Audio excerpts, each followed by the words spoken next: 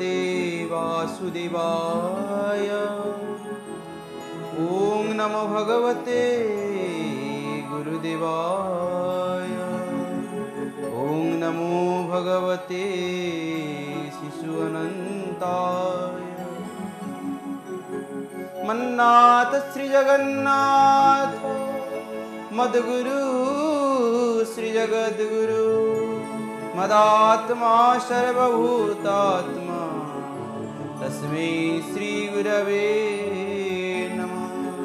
हे कृष्ण करुणा सिन्धु दीनबन्धु गोपपते गोपेश गोपिका कान्त राधाकान्त नमोऽस्तु ते।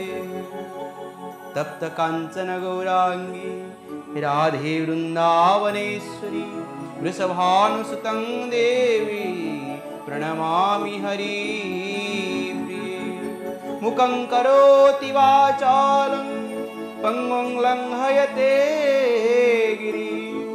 जत्कृपातमहं वन्दे परमानन्दमाधवम् सच्चिदानन्दरूपाय विश्वदपत्यादिहेतवे तापत्रयविनाशाय श्रीकृष्णाय वयं नमः श्रीकृष्ण गोविन्द हरे मुरारे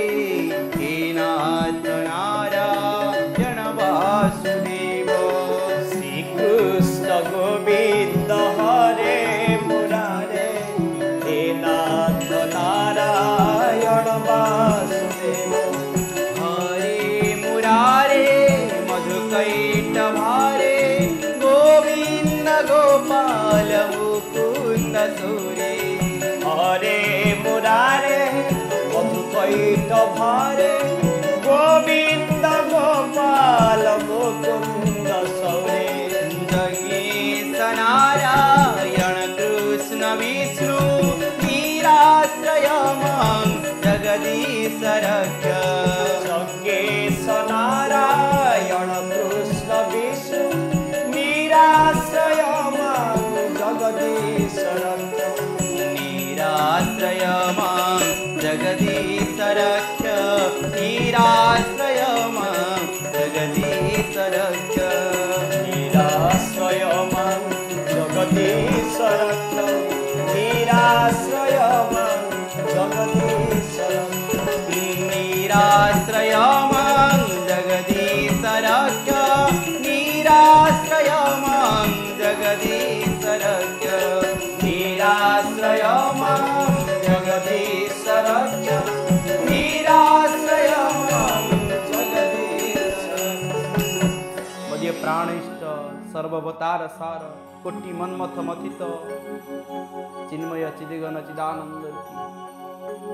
ମୋର ଇଷ୍ଟଦେବ ଭଗବାନ କ୍ଷୀରାବିଷୟୀ ଶିଶୁନନ୍ଦ ପ୍ରଭୁ ଜଗନ୍ନାଥଙ୍କ ସ୍ୱରୂପରେ ସେବକ ପ୍ରଣାମ ନିବେଦନ କରୁଛି ସମସ୍ତ ସଦ୍ଗୁରୁମାନଙ୍କୁ ବିଶ୍ୱପ୍ରେମୀ ବଳିଆଙ୍କ ସ୍ୱରୂପରେ ପ୍ରଣାମ ନିବେଦନ କରୁଛି ତତ୍ସହିତ ଅଗଣିତ ଶ୍ରୋତାମାନଙ୍କୁ ଭଗବତ ପିପାସୁଙ୍କୁ ପ୍ରଣାମ ନିବେଦନ କରୁଛି ନିରାଶ୍ରୟ ମାଂ ଜଗଦୀଶ ରକ୍ଷ ନିରାଶ୍ରୟ ମାନଙ୍କର ଆଶ୍ରୟଦାତା ହଉଛନ୍ତି ଭଗବାନ ମୋ ପାଖରେ ଗାଡ଼ି ଅଛି ମୋ ପାଖରେ ଘର ଅଛି ମୋ ପୁଅ ଆମେରିକାରେ ଚାକିରି କରି ଜର୍ମାନ ଚାକିରି କରିଛି ମୁଁ ଏତେ କୋଟି ଟଙ୍କାର ମାଲିକ ହଁ ଏହା ସତ କିନ୍ତୁ ଯେତେବେଳେ ତୁମେ ନିରାଶ୍ରୟ ହେଇଯାଉଥିବ ସେ ସମୟରେ କିଏ ତୁମର ସାଥୀ ହବ? ଧନ କଣ ନଥିଲା? କୋରୋନାରେ କେତେ ଚାଲିଗଲେ? ଧନ କଣ ରକ୍ଷା କରିପାରିଲା? କେତେ ଦୁଃଖ କେତେ ଯନ୍ତ୍ରଣା କେତେ କାନ୍ଦ ତାରି ଭିତରେ ସମସ୍ତେ ଡାକୁଛନ୍ତି ନିରାଶ୍ରୟ ମାଂ ଜଗଦୀଶ୍ୱର ସେ ନିରାଶ୍ରୟର ଆଶ୍ରୟ ଦାତାଙ୍କୁ ସମସ୍ତେ ଡାକୁଛନ୍ତି ଜୀବନ ତ ହଉଛି ଏଭଳି ନା। ଜୀବନର ଡଙ୍ଗା ହଉଛି ଏଭଳି ସବୁବେଳେ ନଦୀର ସ୍ରୋତରେ ସିଏ ବହି ବହି ଚାଲିଛି କେତେବେଳେ ଯାଇକି ମିଶିଯିବ ସେଇ ସମୁଦ୍ର ଭିତରେ। କିନ୍ତୁ ମିଶିବା ପୂର୍ବରୁ ଆମ ଜୀବନ ପାଇଁ ଟିକେ ଆବଶ୍ୟକ ରହିଛି। ଜଣେ ନାବିକ। ସେଇ ନାବିକର ସନ୍ଧାନ ଦଉଛନ୍ତି ଭାଗବତ। ଭାବରେ ଭାଗବତ। ବ୍ୟାସଦେବ ବସିଛନ୍ତି ଭାଗବତ ଲେଖିଛନ୍ତି। ଆଜି ସେ ଭାଗବତକୁ କିଏ କହିବ ଭାବୁଛନ୍ତି ଏବଂ ଜାଣିଛନ୍ତି ଯେ ଉତ୍ତର ଦାୟଦ ଉତ୍ତର ଦବ ମୋ ପୁତ୍ର ସୁକଦେବ କିନ୍ତୁ ଯୋଉ ଅଠାଅଶୀ ହଜାର ବ୍ରହ୍ମର୍ଷି ମାନେ ବସିକି ନୈମିଷାରଣ୍ୟରେ ପୁରା କଥୋପକଥନ ଚାଲିଛି ପୁରା ମାନେ ଭାବର ସହିତ ମଧି ଯାଉଛନ୍ତି ରଦି ଯାଉଛନ୍ତି ତା ସହିତ ନିଜର ପ୍ରଶ୍ନକୁ ଆଲୋଚନା କରୁଛନ୍ତି। ଆମେ କ'ଣ କରୁଛେ? ଆମେ ସମାଲୋଚନା କରୁଛେ କିନ୍ତୁ ସିଏ ଆଲୋଚନା କରୁଛନ୍ତି। ଡିଫରେନ୍ସ ଏତିକି। ସେମାନଙ୍କ ପାଖରେ ଅନେକ ଜ୍ଞାନ। ସେମାନେ ସବୁ କିଛି ତ୍ୟାଗ କରିଛନ୍ତି କିନ୍ତୁ ତାଙ୍କ ଭିତରେ ସମାଲୋଚନା ନାହିଁ ଆଲୋଚନା ଅଛି। ତେଣୁକରି ସମସ୍ତଙ୍କ ଭିତରେ ଭାବ ଠିକ ଅଛି ଆନନ୍ଦ ଠିକ ଅଛି ନା ଆଉ। ରାଜା ପରୀକ୍ଷିତଙ୍କର କଥା ଆଲୋଚନା କରୁଛନ୍ତି ଭାଗବତର କଥା। ଏତେ ବଡ଼ ଜଣେ ଭକ୍ତ ଏତେ ବଡ଼ ଭକ୍ତ ହେଇକି ମଧ୍ୟ ସେ କଳିଙ୍କୁ ଆଶ୍ରୟ ଦେଲେ। କାହିଁକି କ'ଣ ପାଇଁ? କଳିରେ ହିଂସା ରହିଛି କଳିରେ ଦୁଃଖ ରହିଛି ଗଣ୍ଡଗୋଳ ରହିଛି ପ୍ରତାରଣା ରହିଛି। ତାପରେ ବି କଳିଙ୍କୁ ଆଶ୍ରୟ ଦେଲେ ରାଜା ପରୀକ୍ଷିତ। ସେଇ କଥା କହୁଥିଲି ଯେତ ଫଳମ୍ ନାସ୍ତି ତପସା ନ ସମାଧିନା ତତଂ ଫଳಂ ଲଭତେ ସମ୍ୟକ କଳౌ କେଶବ କୀର୍ତ୍ତନା ଯେଉଁ ଫଳ ସମାଧିରେ ମଧ୍ୟ ପାଇପାରିବାନି ସେଇ ଫଳକୁ ଏ କଳି ଯୁଗରେ ନାମ ଦ୍ୱାରା ଏ ଭାଗବତ ପଢ଼ିବା ଦ୍ୱାରା ଶ୍ରବଣ କରିବା ଦ୍ୱାରା ସେଇ ଫଳ ମିଳିଯିବ କହୁଛନ୍ତି। ଅଳ୍ପ ପରିଶ୍ରମରେ। କାହିଁକି ନା କଳିଯୁଗରେ ଆମେ ସମସ୍ତେ ବ୍ୟସ୍ତ ବିବ୍ରତ ଆମ ପାଖରେ ସମୟ ନାହିଁ। ଆମେ ଅର୍ଥ ପାଇଁ ଦୌଡ଼ିବୁ ଆମ ପରିବାର ପାଇଁ ଦୌଡ଼ିବୁ। କଥା ତ ବାସ୍ତବ ସତ୍ୟ। ପରିଶ୍ରମ ନ କଲେ ଖାଇବାକୁ ଦବ କିଏ ଆମକୁ? ଶାସ୍ତ୍ର କହୁଛନ୍ତି ବି ତମେ କର୍ମ କର। କିନ୍ତୁ କର୍ମ ସହିତ ମୋତେ ସାଙ୍ଗରେ ରଖିଥାଅ। କାରଣ ମୁଁ ହେଉଛି ତମର କର୍ମ। ମୁଁ ତମକୁ କର୍ମ ଯୋଗେଇବି। ମୁଁ ତମକୁ କର୍ମର ବାଟ ଦେଖେଇବି। ତମେ କେମିତି ସତ୍ କର୍ମ କରିବ? ତମେ କେମିତି ସତ୍ ଫଳ ପାଇବ? ଫଳ ତ ସମସ୍ତେ ପାଇବେ। ରାକ୍ଷା ସେମାନେ କ'ଣ ଭଗବାନ ପ୍ରାର୍ଥନା କରୁନଥିଲେ? ପ୍ରାର୍ଥନା କରୁନଥିଲେ ତାଙ୍କ ଆଗରେ ଶିବ ଆସିକି ଏଇ ପହଞ୍ଚିଗଲେ। ହିରଣ୍ୟାକ୍ଷଙ୍କ ଆଗରେ ଶିବ ଆସିକି ପହଞ୍ଚିଗଲେ ଭୋଲନାଥ ପହଞ୍ଚିଗଲେ କିମ୍ବା କେତେବେଳେ ଆସିକି ବ୍ରହ୍ମା ପହଞ୍ଚି ଯାଉଥିଲେ କେମିତି ପହଞ୍ଚି ଯାଉଥିଲେ ତାଙ୍କ ପାଖରେ ସାଧନା ଥିଲା ପ୍ରାର୍ଥନା ବି ଥିଲା। ପରିଶ୍ରମ କରିଛନ୍ତି କର୍ମ କରିଛନ୍ତି ମାନେ ଫଳ ପାଇବେ ଭଗବାନ ତାଙ୍କୁ ଫଳ ଦେଇଛନ୍ତି। କିନ୍ତୁ ସେ ଫଳକୁ ସେ ରାକ୍ଷାସ ବୁଦ୍ଧିରେ କ'ଣ କଲେ? ଫଳକୁ ଦୁରୁପଯୋଗ କଲେ। ଯଦି ଫଳକୁ ସେ ସୁଫଳ କରିପାରିଥାନ୍ତେ ତେବେ ତାଙ୍କ ଜୀବନ ହସି ଉଠିଥାନ୍ତା ତାଙ୍କୁ ରାକ୍ଷାସ ବଦଳରେ ତାଙ୍କୁ ଦେବତା ମଧ୍ୟ କୁହାଯାଇଥାନ୍ତା। ପରିଶ୍ରମ କଲେ କିନ୍ତୁ ପରିଶ୍ରମକୁ ଫଳକୁ ଆଣିକି ନିଷ୍ଫଳ କରିଦେଲେ। ଆମେ କର୍ମ କରିବା ଆମ ପାଖରେ ଟଙ୍କା ଆସିକି ପହଞ୍ଚିବ। କିନ୍ତୁ ସେ ଟଙ୍କାକୁ ଯଦି ଆମେ ପରିବାରର କଥା ନ ବୁଝିବା ଯଦି ଟଙ୍କାକୁ ଆଣିକି ଯଦି ଆମେ ପରୋପକାରରେ ନ ଲଗେଇବା କିଛି ଟଙ୍କା ଯଦି ଆମେ ଦାନ ନ କରିବା ତେବେ କ'ଣ ହବ ଆପଣ ଜାଣିଛନ୍ତି? ଆମେ ଯଦି ସେ ଟଙ୍କାକୁ ଆଣିକି ଏ କାମର ନ ଲଗେଇକି ଆମେ କହିବା ଫଳକୁ କୁଫଳରେ ପରିଣତ କରିଦେବା ମଦ ପିଇବା ମଦୁଆ ହେଇଯିବା। ଯାହା କରିବା ଯେମିତି ଆମେ ଉପଯୋଗ କରିବା ଅର୍ଥକୁ ଆମେ ସେମିତି ହିଁ ତାର ଫଳ ପାଇବା। ଏ ବୁଦ୍ଧି ମଧ୍ୟ ସେଇଭଳି। ଜଣେ ରାଜା ଚିତ୍କାର କରୁଛନ୍ତି ମତେ ରକ୍ଷା କର ମତେ ରକ୍ଷା କର ମତେ ରକ୍ଷା କର। ରାଣୀ ହଠାତ୍ ଉଠିଗଲେ କହିଲେ ମହାରାଜ କଣ ହେଲା କି? କଣ ତ ମୁଁ ରକ୍ଷା କରିବି? ରାଜା କହୁଛନ୍ତି ମୁଁ ଏକ ସ୍ୱପ୍ନ ଦେଖିଲି। ମତେ ବହୁତ ଭୟ ଲାଗିଲା। କଣ? ନା ଗୋଟିଏ ଶୃଗାଳଟି ଦୌଡ଼ି ଆସୁଛି ଏବଂ ସେ ଶୃଗାଳଟି ମତେ କହୁଛି ମୁଁ ତତେ ଖାଇବି କହିକି ମତେ ମାଡ଼ି ବସୁଛି। କହିଲେ ଏମିତି କଥା। ସକାଳୁ ଉଠିଲେ ରାଜା ମନ୍ତ୍ରୀଙ୍କୁ ଡକେଇଲେ। ରାଣୀ ମଧ୍ୟ ବସିଲେ ସେଠି କହିଲେ ରାତିରେ ରାଜା ଏଭଳି ଏକ ସ୍ୱପ୍ନ ଦେଖିଛନ୍ତି କଣ କରିବା? ମନ୍ତ୍ରୀ କହିଲେ କଣ କରିବା? ତାହେଲେ ଏ ଏଭଳି ଏକ ସ୍ୱପ୍ନ ଯେତେବେଳେ ଦେଖିଛନ୍ତି ଏ ସ୍ୱପ୍ନ ଦେଖିବାର ଅର୍ଥଟା କଣ? ତୋର ଶୃଗାଳଟିଏ ଆସୁଛି ଖାଇବା ପାଇଁ। ରାଜ୍ୟ ସାରା ପ୍ରଚାର ହେଇଗଲା ଯିଏ କହିଦବ ତାକୁ ଆମେ ପାଞ୍ଚ ହଜାର ସ୍ୱର୍ଣ୍ଣ ମୁଦ୍ରା ଦେବୁ। ଚାରିଆଡ଼େ ପ୍ରଚାର ହେଇଗଲା ପ୍ରଚାର ହେଇଗଲା ଗୋଟେ ଯୁବକଟିଏ ଗଛ ମୂଳରେ ବସିଥିଲା। ଗଛ ମୂଳେ ବସି କିଛି କର୍ମ ପାଉନଥିଲା କିଛି କର୍ମ ନାହିଁ। ବସିଲେ କୋଉଠି କିଏ କର୍ମ ଦବ? ବସିଲେ ତ କର୍ମ କିଏ ଦେବିନି? କି ବସିଲେ କିଏ ଚାକିରି ତ ଦେବିନି ନା? କର୍ମକୁ ଆମକୁ ଖୋଜିବା ପାଇଁ ପଡିବ। ଯୁବକ ଜଣକ ଭାବୁଛନ୍ତି ଯଦି ପ୍ରଭୁ କୃପା କରନ୍ତେ ନା ମୁଁ ସେଇ ସ୍ୱର୍ଣ୍ଣ ମୁଦ୍ରା ପାଇଯାଆନ୍ତି। ଆଉ ମୋର ଅଭାବ ରୁହନ୍ତାନି ମୋ ପରିବାରରେ ଅଭାବ ରୁହନ୍ତାନି ଦୁଃଖ ରୁହନ୍ତାନି ଏଇ କଥା ଯୁବକ ଜଣକ ଭାବୁଛନ୍ତି। ହାତ ଯୋଡ଼ିଛନ୍ତି ଉପରେ ଗୋଟିଏ ପକ୍ଷୀଟି ଥିଲା। ପକ୍ଷୀଟି କହିଲା କହିଲା ହେ ଯୁବକ ତମେ ଭୟ କର ନା ତମେ ଚିନ୍ତା କର ନା ମୁଁ ତମକୁ ସେ ପ୍ରଶ୍ନର ଉତ୍ତର କହିଦେବି। କହିଲେ ତମେ ଜାଣିଛ? କହିଲେ ହଁ। ପକ୍ଷୀ ଜଣକ କହିଦେଲେ ତାର ଉତ୍ତର। କହିଲେ କିନ୍ତୁ ତମେ ଯିବ ଯାହା ଆଣିବ ମତେ ଅଧା ଦବ ତମେ ଅଧା ନବ ପକ୍ଷୀର କଥାରେ ରାଜି ହେଇଗଲେ।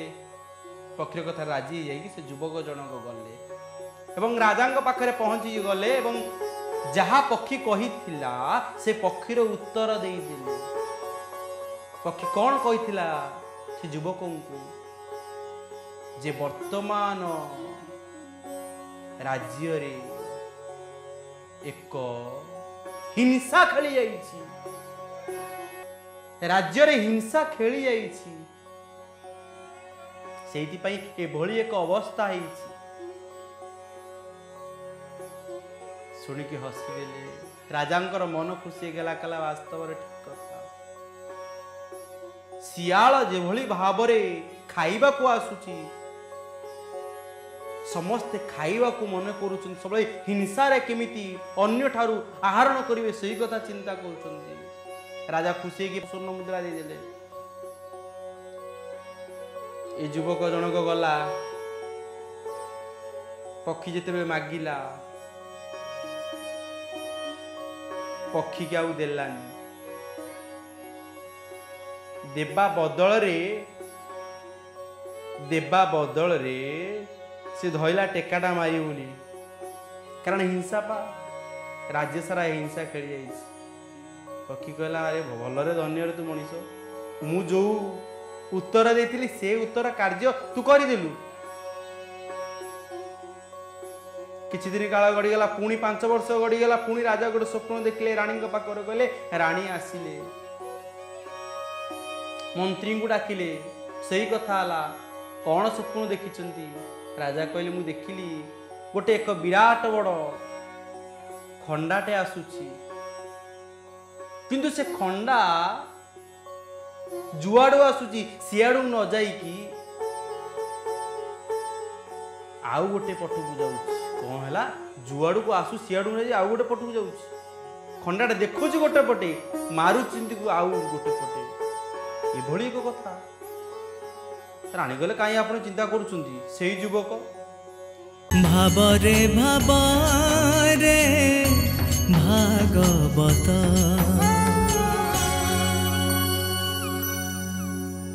ବିରତି ପରେ ଭାବରେ ଭାଗବତ କାର୍ଯ୍ୟକ୍ରମକୁ ଏ ସେବକ ସ୍ୱାଗତ କରୁଛି।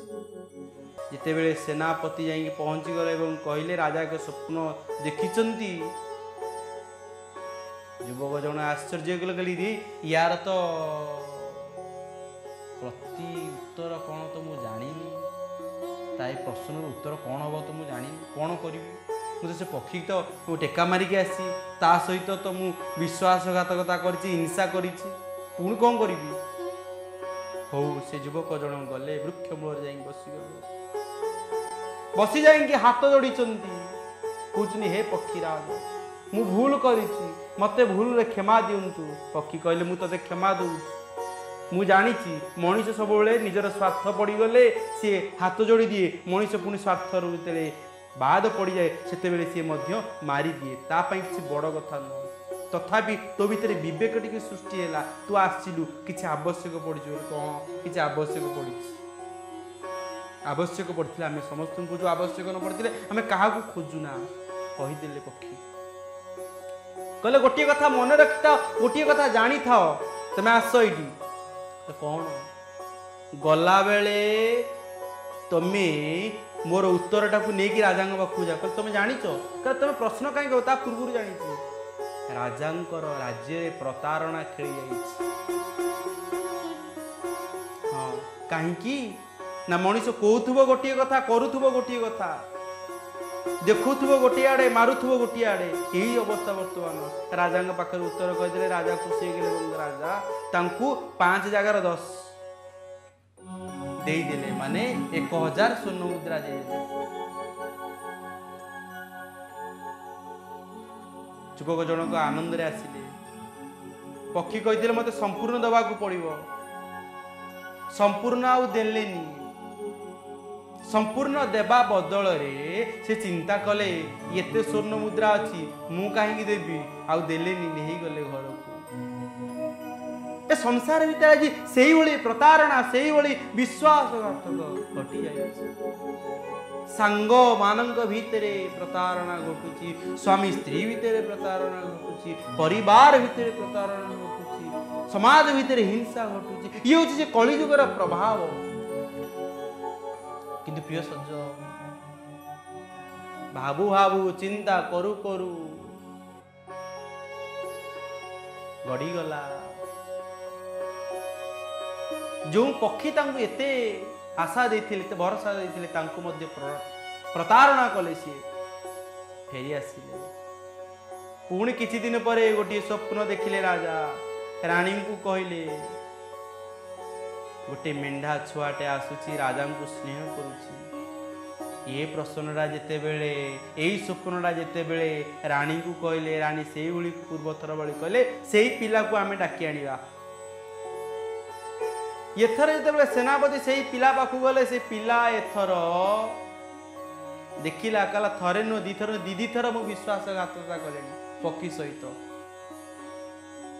କାରଣ ପକ୍ଷୀଟି ମୋ ସହିତ କଥା ହେଇପାରୁନି। ପକ୍ଷୀଟି ମୋତେ କିଛି କହିପାରୁନି କିନ୍ତୁ ତା ସହିତ ସବୁବେଳେ ମୁଁ ପ୍ରତାରଣା କରୁଛି। ସିଏ ମୋ ଭାଷା ବୁଝିପାରୁଛି କିନ୍ତୁ ମୁଁ ତା ଭାଷା ତା ହୃଦୟର ଭାଷା ବୁଝିପାରୁନି। ମୁଁ କିନ୍ତୁ ତାକୁ ପ୍ରତାରଣା ଦେଇ ଚାଲିଛି। ଏ ସମାଜ ଭିତରେ ବର୍ତ୍ତମାନ ସେୟା ଚାଲିଛି। ଆମେ କେବଳ ଆମର ଦୁଃଖକୁ ଅନୁଭବ କରୁଛେ କିନ୍ତୁ ଅନ୍ୟର ଦୁଃଖକୁ ଆମେ ଅନୁଭବ କରୁନେ। ପକ୍ଷୀ ପାଖକୁ ଗଲା ଯାଇକି କାନ୍ଦିଲା ସେଇ ଗଛ ମୂଳରେ। କହିଲା ମୋତେ କ୍ଷମା କରିଦିଅ। ଆଉ ଏଭଳି ଭୁଲ ହବନି ତୁମେ ହଉଛ ମୋର ଗୁରୁ। କୀଟ ପତଙ୍ଗ ଖଗ ମୃଗ ସାଧୁ ଦର୍ଶନେ ମୁଖ୍ୟ ଯୋଗ। ଇଏ ହଉଛନ୍ତି ସାଧୁ ତାର କର୍ମ। ଏ ସମାଜ ଭିତରେ ସମସ୍ତଙ୍କର ଅବଦାନ ଅଛି ସମସ୍ତଙ୍କ ଭିତରେ ସାଧୁତା ରହିଛି ହାତ ଯୋଡ଼ି ଦେଇଛନ୍ତି ପକ୍ଷୀ କହିଲେ ଉତ୍ତର ଯାଇକି ଦେଇଦିଅ। ଦେଇଦେଲେ ଉତ୍ତର। ରାଜା ପନ୍ଦରଶହ ସ୍ୱର୍ଣ୍ଣ ମୁଦ୍ରା ଦେଲେ। ଘଟଣା କ'ଣ? ଉତ୍ତର କ'ଣ ଦେଇଥିଲେ? ନା ରାଜ୍ୟରେ ଶାନ୍ତି ଆସିଲା। ସେତେବେଳେ ଇଏ ସ୍ୱର୍ଣ୍ଣ ମୁଦ୍ରା ସବୁ ନେଇଗଲେ ପକ୍ଷୀଙ୍କୁ ଦେଲେ ପକ୍ଷୀ ଧରିଲେ। କହିଲେ ତମେ ନେଇଯାଅ ମୁଁ କ'ଣ ପକ୍ଷୀଟେ? ସ୍ୱର୍ଣ୍ଣ ମୁଦ୍ରା କ'ଣ କରିବି? ମୁଁ ତମକୁ କେବଳ ଗୋଟିଏ କଥା ଶିଖେଇବାକୁ ଚାହୁଁଥିଲି ତମକୁ ଗୋଟିଏ କଥା ଜଣେଇବାକୁ ଚାହୁଁଥିଲି। ଏ ଗପ ମାଧ୍ୟମରେ ଏ କାହାଣୀ ମାଧ୍ୟମରେ ଇଏ ଆମକୁ ଶିଖଉଛନ୍ତି ଗୋଟିଏ କଥା ଯେ ଆମେ ପ୍ରତାରଣା ଠାରୁ ହିଂସା ଠାରୁ ଉର୍ଦ୍ଧ୍ୱରେ ରହିକି ଶାନ୍ତିପୂର୍ଣ୍ଣ ଜୀବନ କେମିତି ଜୀବନ ଯାପନ କରିବା ଯଦ୍ୱାରା କି ଏ କଳି ପ୍ରଶମିତ ବନତେ କଳି ବଢ଼ି ବଢ଼ି ଚାଲିବ। ଆଉ ସେଇ କଥା ହିଁ ସୁତଦେବ କହୁଛନ୍ତି ସୌନକ ଶୁଣୁଛନ୍ତି एककारं कळीं दृष्ट्वा सारवत सारनीरसं विष्णुरतः स्थापितवान् कळीजानं सुखाय କଳିଯୁଗ ସାରହୀନ ହୋଇଥିଲେ ମଧ୍ୟ ଏହି ଗୋଟିଏ ଦୃଷ୍ଟିକୋଣରୁ କଳିଯୁଗରେ ଜୀବମାନେ କିଭଳି ସୁଖରେ ରହିବେ? ସେଇଥିପାଇଁ ରାଜା ପରୀକ୍ଷିତ କଳିକୁ ବଧ କରିନଥିଲେ। ସରଳ ଉପାୟରେ କିଭଳି ଆମ ପରିବାରକୁ ଆମ ଜୀବନକୁ ଆମେ ଗଠନ କରିପାରିବା ଶାନ୍ତିପୂର୍ଣ୍ଣ ଜୀବନ ଯାପନ କେମିତି କରିପାରିବା? ଏ କଳି ଯୁଗରେ ହିଁ ସମ୍ଭବ ହେଇପାରିବ। ଅତି ସରଳରେ। କାରଣ ସମୟ ଗଡ଼ି ଯାଉଛି ଏହି ସମୟକୁ ଆଧାର କରି ଆମ ଜୀବନରେ ଆମେ ଚେଷ୍ଟା କରିବା କିଭଳି ଭାବରେ ଭାଗବତକୁ ଶ୍ରବଣ କରିବା ଏବଂ ସମୟର ସଦୁପଯୋଗ କରିବା ଆପଣଙ୍କର ପୁତ୍ର ଭଳି ଏ ସେବକ କିଛି କହିଲା ଆଉ ସେଇ କିଛି କଥା ବ୍ୟାସଦେବ ଏଥର ଚିନ୍ତା କରିଲେଣି କେମିତି ପୁତ୍ର ପାଖକୁ ଯିବେ? ନଚେତେ ଭାଗବତ କଥା ବା ସାଧାରଣ ଲୋକଙ୍କ ପାଖରେ ପହଞ୍ଚି ପାରିବନି। କେମିତି ସେ ପୁତ୍ର ପାଖକୁ ଯିବେ? ସେଇ କଥା ଆମେ ଆଗାମୀ ଅଧ୍ୟାୟରେ ଶ୍ରବଣ କରିବା। ଠିକ୍ ଏହି ସମୟରେ। ତବ କଥାମୃତಂ ତପ୍ତ ଜୀବନಂ ବିରୀଡ଼ିତಂ କଳମତାପମ୍ प्तजीवनं कविभिरीडितं कल्पशापः श्रवणमङ्गलं श्रीमदाततं ततं पूरितजना।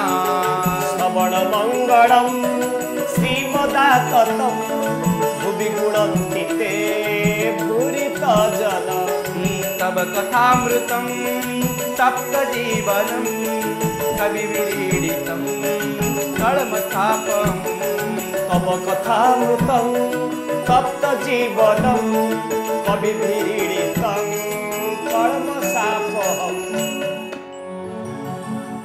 ভাবরে ভাবরে ভাগবত